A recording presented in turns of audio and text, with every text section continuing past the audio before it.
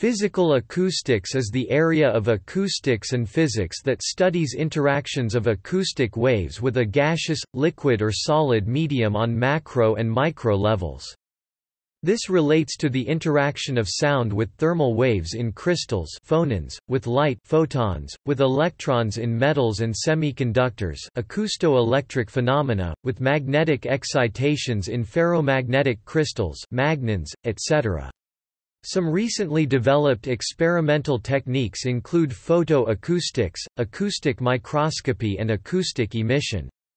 A long-standing interest is in acoustic and ultrasonic wave propagation and scattering in inhomogeneous materials, including composite materials and biological tissues.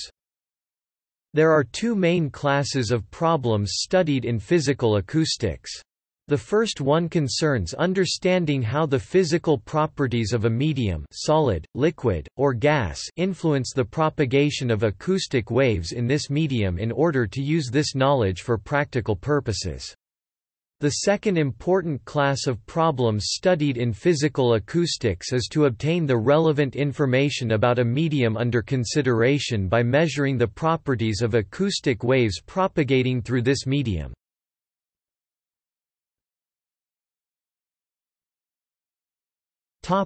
See also. Acoustic attenuation.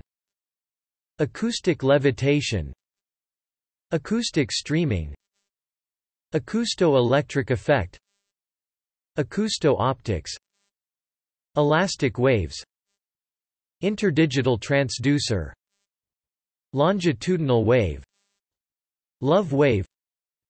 Nonlinear acoustics Picosecond ultrasonics. Sonoluminescence.